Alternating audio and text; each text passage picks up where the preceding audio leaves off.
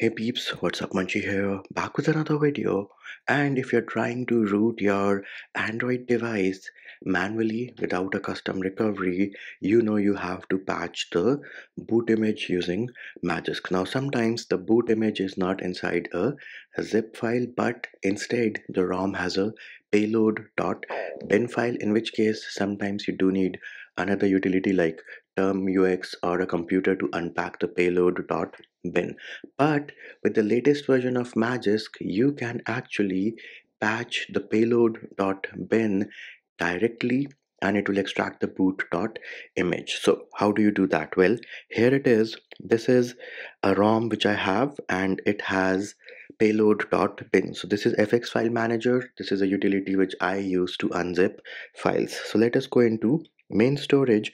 And in main storage if i go into download here it is. This is pixel experience rom for the pixel 5 i'm going to press and hold. Make sure it is highlighted and selected. Three dot menu on the top right.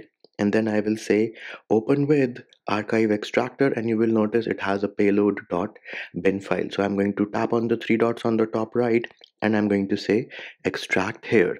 That is going to extract the contents of this zip file in my internal storage now once that process has finished successfully we should have a folder. So here it is. We now have a folder of pixel experience. Inside this we have our payload.bin so Instead of unpacking this payload.bin, let us go into Magisk now. Once you open Magisk, you will see the option of install right beside Magisk. So we're going to select this option now. My device is already rooted, but do note you can install the Magisk app on any device and patch the boot image or the init underscore boot image for any other device. So we're going to select the option of select and patch a file. Once you do that this is your internal storage right?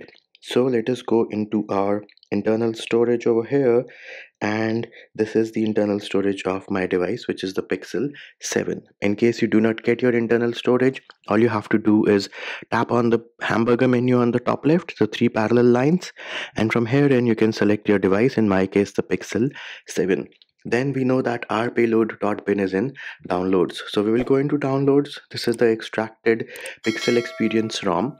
And herein all I have to do is select the payload.bin file and then we're going to say let's go and then wait for Magisk to do its thing and bam there it is. You will see that magisk has actually processed the payload.bin extracted the boot image and then has created a magisk patched boot image for me in this folder in the downloads one. So now if you actually go back to your file manager whatever file manager application you are using in my case i'm using fx file manager and this here is the download folder I have a Magisk patched boot image. This one is for the init boot which I rooted my Pixel 7 but this one here is the one which we just created using the Magisk app. So here it is, the one which is starting with W4 PHI. This is the one which we have just created and this is the boot image which was actually extracted from the payload.bin so there it is peeps. That is how you manually patch the boot image to root your android device using magisk in case you have a payload.bin file